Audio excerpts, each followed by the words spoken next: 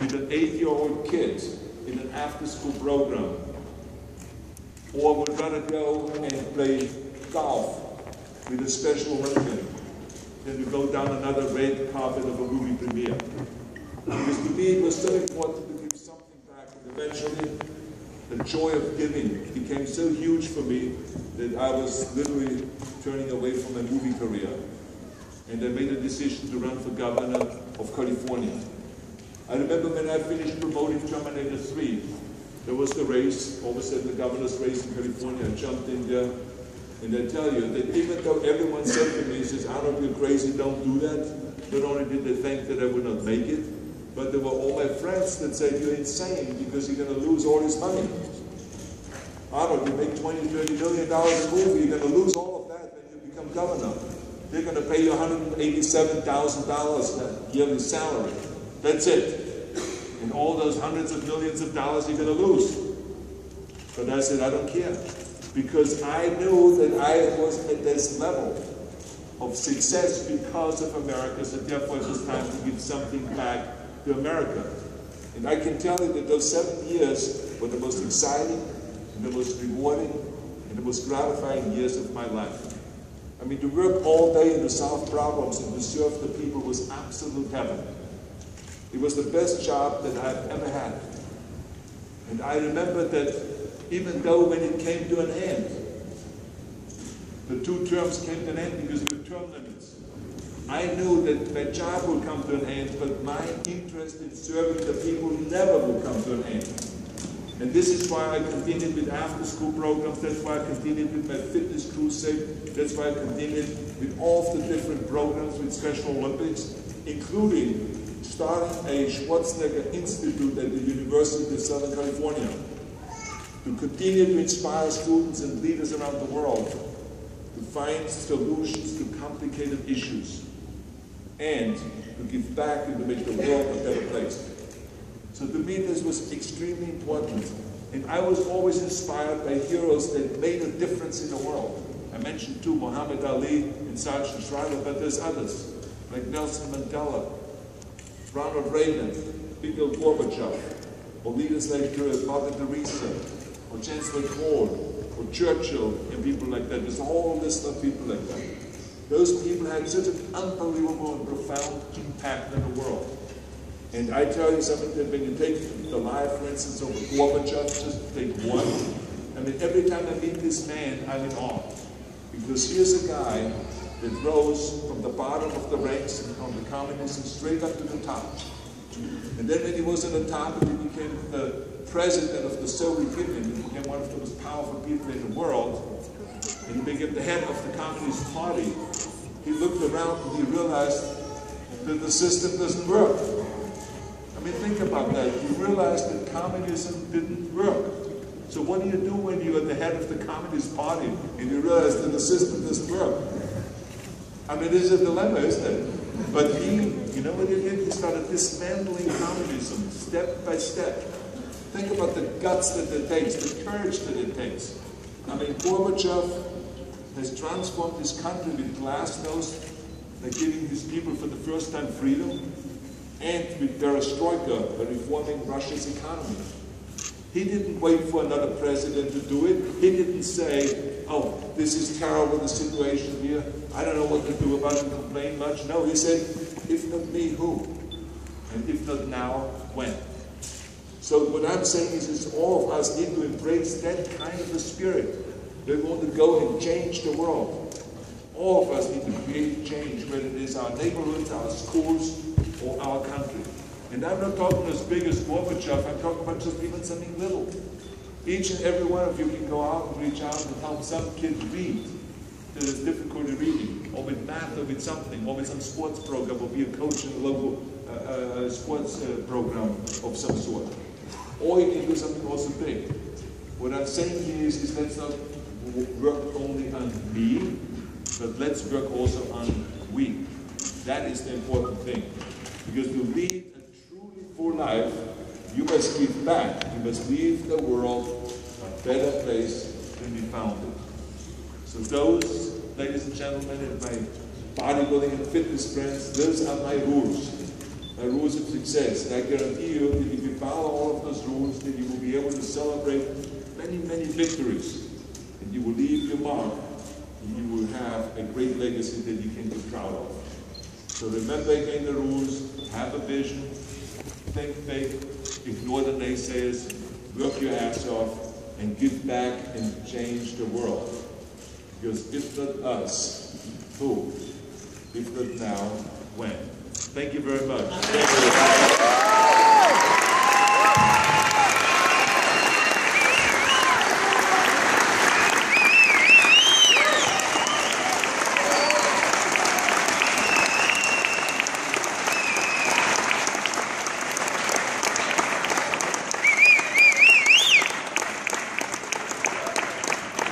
Just going to do a question and answer with Danny and Arnie. So, Danny, start with you.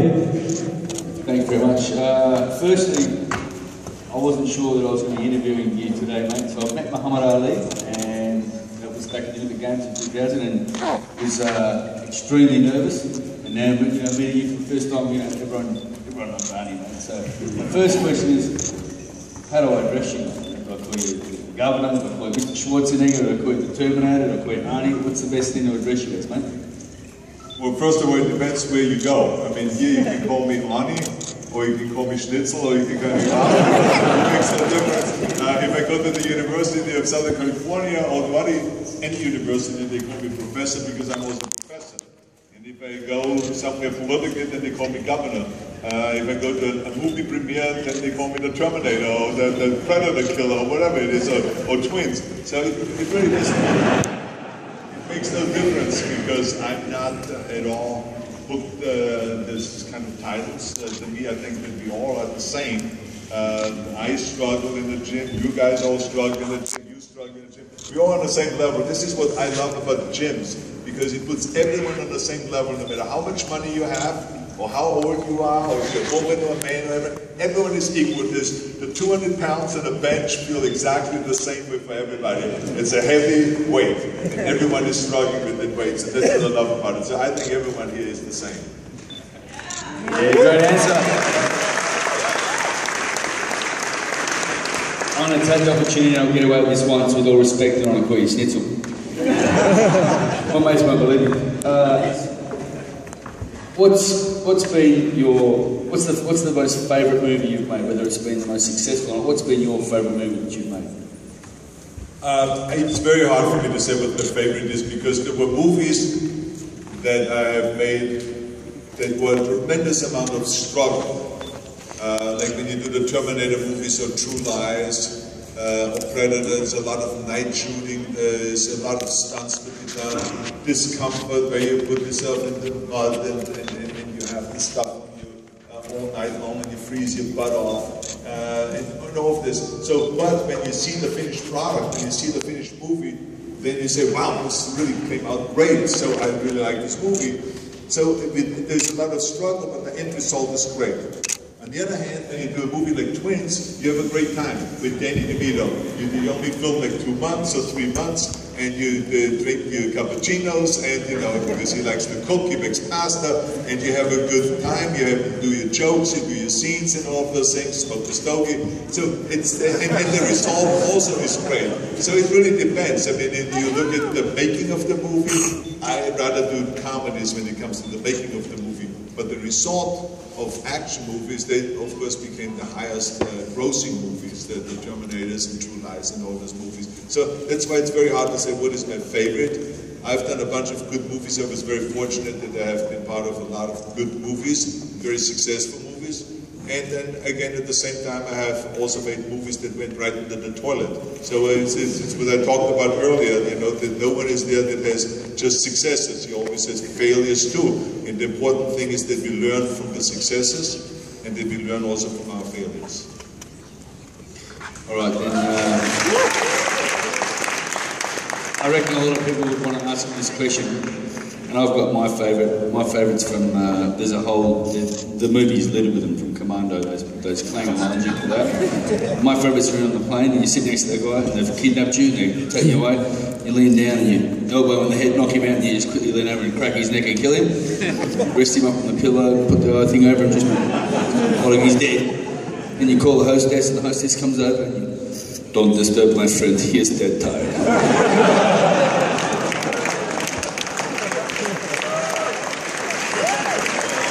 What's what's been what's been the standout thing along? Because literally, you've got you've got millions of YouTube channels dedicated to, to the lines you pulled out, mate. They're amazing. What's been your favourite?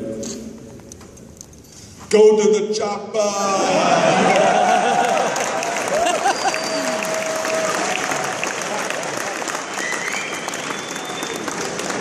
Don't drink and bake.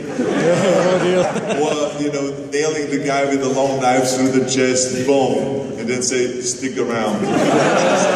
so things like, you know, this, but also, of course, you know, the I'll be back, or hasta la vista, baby, and then, you know, killing the T-1000. So it, it was a lot of, uh, you know, great lines like that. What's interesting about it is, is that you never know when you say the line in a movie that that's going to be the line that is becoming famous or that people like. You have no idea. When I did the, the I'll be back line, we had no idea. We argued, as a matter of fact, the director and I, we argued about how to deliver that line because I always said, I will be back. and he says, no, no, I wrote, I'll be back. And I said, but it sounds better to me, I will be back. And he says, I don't, I don't tell you how to act, so don't tell me how to write. Just say the line, I'll be back. And I said, but it sounds weird, this I'll, this oh, you know, I just find it's weird. He says, do it. So we did it like 10 different takes. And then one, you know, worked. And so that's how this, but I had no idea that, that when the movie came out, and the line became so famous, I remember that as soon as the movie came out, people came up to me and they said, uh, I was in New York, and someone came running up to me and says, I don't say the line, say the line. I said, what line? He says, you know, in a movie, Germany, the, the I'll be back line. I say, I'll be back. He says, no, no, no, no, say it the way you say it in the movies. And I said, I'll be back. And I said, yeah, yeah, yeah. And I said, so, then I knew right away that that was the special line that people like. So, so you never know ahead of time. Uh, legend let off some steam, Bennett. uh, Arnie, from, uh, from obviously you know, a young kid in Austria, of all places, to what you've achieved is more than probably the most highest achieving human beings in the world are ever going to achieve. You're one of the highest achievers in so many fields. It's just incredible. I won't even list all the things you've achieved. And I was going to ask you, you know, a very poignant question, a very heavy question about, you know, all the, you know, how did you get here, or did you believe this, or did you dream this, and you answered them all. You said it all. It's just there's no questions that need to be asked. You kind of covered everything that could be asked. But politics. Did you, when you were, you know, a 15-year-old kid in, in Austria, and you had that dream, that massive dream of coming to America, did you think you'd, you'd one day be the governor of one of the, the biggest economies in the world? It's just, it's just phenomenal. No, I mean, I had absolutely no interest in politics when I was at that age. The only thing I wanted to do is uh, be the most muscular man and to be a powerlifting champion and a weightlifting champion and to get into movies and all the things that I talked about. You know, that was my dream, to be another Reg Park. Um, but as you get older, then all of a sudden other things become more, uh, you know, important to you. And so as my career uh, started evolving, and I started, uh, you know, started making a lot of money, and I started uh, getting really uh, successful in movies and in business as an entrepreneur. And so whatever, you know, happened around me, I felt like this is really the land of opportunity. I mean, this is amazing, the kind of things that you can accomplish in America. And I was just so, I mean, so uh, taken back by you know, we hear so many times about America is the land of opportunity and it's kind of a line, but I mean, then to experience it, uh, that through hard work, if you're really struggling, if you really work hard, that you can do it, that there's no one there holding you back. That I all of a sudden started feeling that I should give something back, and that feeling started getting bigger and bigger, and then it evolved over a period of like 15 years uh, to the time where I just felt like, well, I should just, you know, give up my movie career. I should just jump in. I think that I have what it takes to lead California during those very difficult circumstances when we had the recession, the job losses, and all of those things. The politicians couldn't get along. So I felt like I should jump in and I should do it. I should not just sit in front of the TV like people do all the time and say, oh, these are terrible, those politicians. they're not to be trusted. Oh, I'm not going to go out and vote this time. And all this stuff, but they don't do anything about it. People just complain, but they don't do anything. I always say, hey, jump into the uh, arena, do something about it, because we all have tremendous power. So I said to myself, I'm going to take that power, I'm going to jump into the race, and I'm going to make changes. So it's not something that I planned early on. It's something that uh, later on became, all of a sudden, a dream of mine and uh, a desire that jumped in there. And I can tell you, my wife was not happy about that decision at all. I mean, uh, as I wrote in my book, I mean, she freaked out. She was sitting in the jacuzzi. I remember it was like uh, two days before announcing I mean, she's sitting in the jacuzzi and I said, Maria, what do you think about me running for governor? She started shaking and freaking out and started crying. She says, oh, I come from a political family. I know what that means. You then would never be home. It would be the destruction of the family and all of those things. But, you know, at the same time, her mother told her, I said, look, you know, that in our family, the women always support the guys. And, uh, you know, Arnold has this in his stomach. He feels it.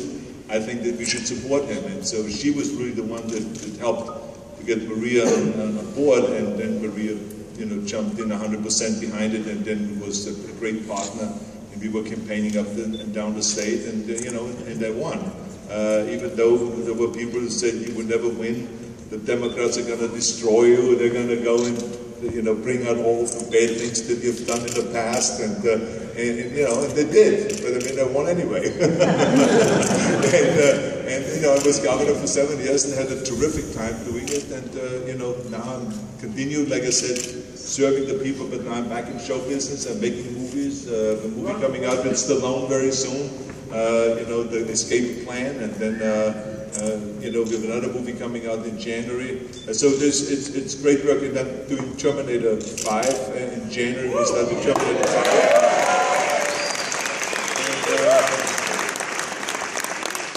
the twins uh, and Conan, King Conan, and so there's a, a whole bunch of uh, movies that I'm going to continue doing. Unbelievable. Well, um, all right, legend. Two prong question. This is for the for the hardcore weightlifters out here, and pretty much for all of us. Um, what's your favourite exercise, and what's the heaviest you've ever bench pressed? the heaviest ever bench press was 525.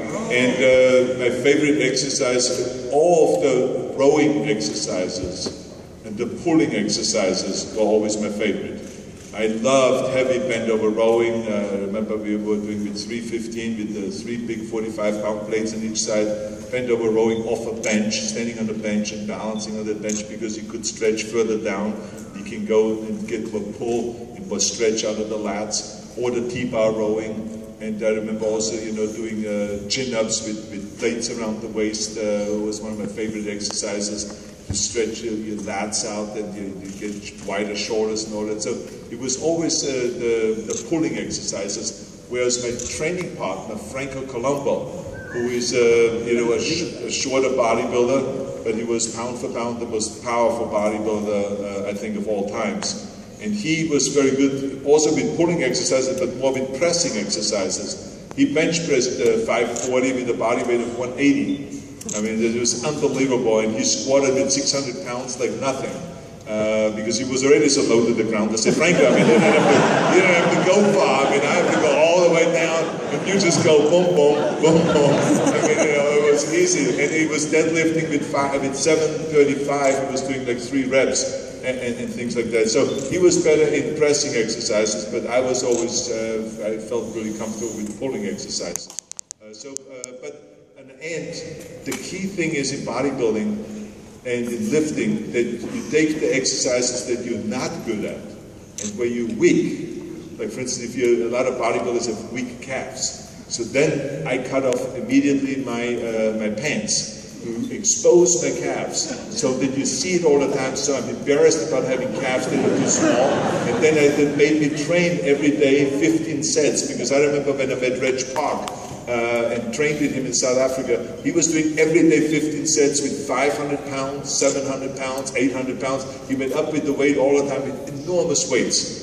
and every day. And so I realized that that's what you need to do is just cut off the pants, expose your weakness, and that make what makes you train rather than hiding your weakness, which a lot of bodybuilders do. Expose it and train that, that the things that you hate to do and train that every day 15, 20 sets.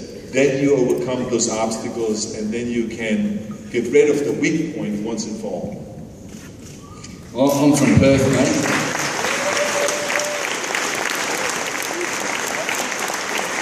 I'm from Perth, Western Australia, and it's pretty warm. It's pretty sunny, so we get to you know cruise around in shorts a lot.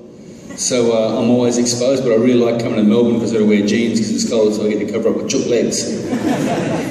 um, my son's five, and I thought I was going to you know meet Arnold Schwarzenegger, and he you know he's only five. You know you were, and I showed him photos. You know you back in the day, and he's like, oh, and he goes, and I'm you know every every dad's their son's idol, and no one can beat me, I'm the king, I'm the top king of the world. And then he saw your photo, and he's like, he stared at it for about five minutes, and he's always been in the garage pumping weights, you know, trying to pump weights, and he thinks he's me. And he goes, oh, Dad, he's got big muscles, he's going to smash you. So, mate, even for you, you, you've got an impact on everyone. Before we were saying just how much presence you have. You don't meet many people. Myself and a mate of mine were talking before, and there's not many people that you meet in your life that have such presence that you do. It's uh, it's pretty phenomenal. You know, you've got a, a bit of an aura about you, man. You just, uh, you know, I just want to give you a big hug and say you're um, two, two, two questions, if, if, if we can, from the crowd quickly, but obviously sensible questions, and uh, you know, obviously uh, with all respect to, to to the boss.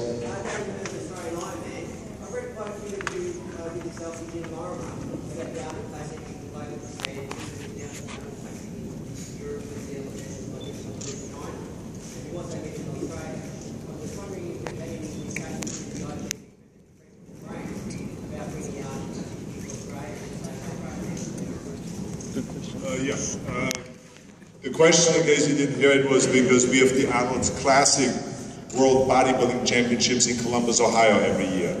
That has become now the biggest competition in the world and also the biggest fitness and sports festival over a period of three uh, days. And then we have approximately 20,000 participants. And we have approximately 200,000 people coming through there, as spectators. So it's really a gigantic event. And so eventually we decided a few years ago to uh, expand and to take it to all the different continents, not just have it in North America. So we started in Europe, in Spain, in Madrid, and there we have it now for the last two years. We had a successful Arnold's Classic there, and it has, in the second year, it has doubled in size over the first year. This year we had it for the first time in Brazil, in Rio de Janeiro, and it was a huge smash. We had to turn tens of tens of thousands of people away. It's how successful it was. Now we're going to go to Asia, to China, and also expand to China. But one of the places, of course, because I love uh, Australia, is that we're going to also have it, which is another continent, a very important continent. We have it also in Australia. So yes, I've been talking to Paul Graham and to other people, promoters, that to come together and to have a very successful Arnold's Classic uh, in 2014 or 2015 uh, for the first time here in Australia. So yes, we are expanding, and this is part of my uh, fitness crusade. And I just want to tell you that I am so excited about our fitness crusade because 45 years ago when I started this stuff, before you were born, uh, uh, I, I said that one day we're going to have gymnasiums everywhere. And at that point, there were no gymnasiums anywhere except in some dungeons. And people said if you work out with weights, you're going to get muscle bound. And you're going to get stupid. You become a narcissist. You're going to turn gay. And all the kind of the crazy things that they came up with. And now, 45 years later, the crusade has been so successful that now there literally is a gymnasium in every single hotel all over the world in every military base, every police station, every fire station, every university, every high school, every university, everywhere there are gymnasiums.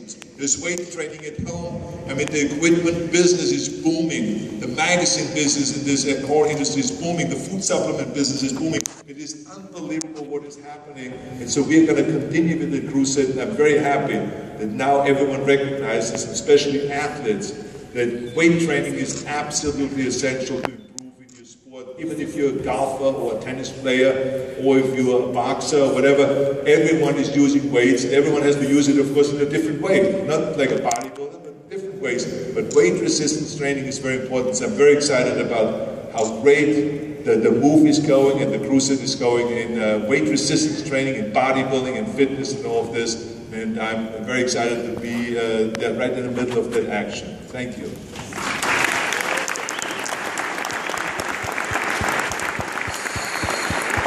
Sorry guys, I have to cut that one short, but Arnie, just uh, in closing, mate, what do you, uh, you talk about, and we really have for yourself to thank for the reason we're here today, and this whole gym's here, and this whole industry, the whole fitness industry itself owes you, uh, you know, uh, a lot, mate. Um, what do you think of Nick's gym here at Derrimut? Well, I think that even though I had a big vision of where the gymnasium business is going, but I did not envision that it ever would get that big. Uh, this is like a, a, truly like a body factory.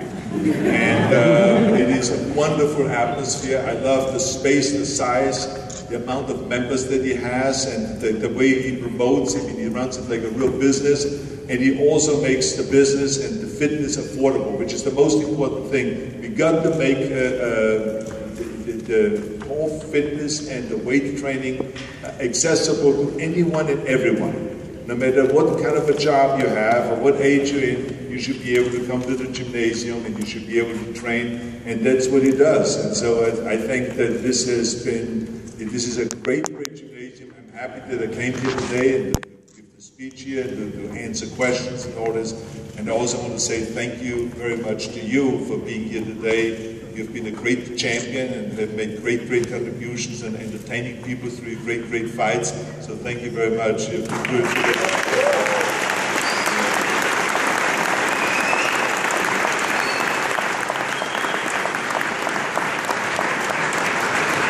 Today it is my pleasure to present Mr Schwarzenegger with a certificate that represents the key to our great city. This token is presented in recognition of your great achievement, achievement as an outstanding politician, as the former governor of California, world champion athlete and bodybuilder, record-breaking box office actor, entrepreneur and philanthropist. Thank you very much.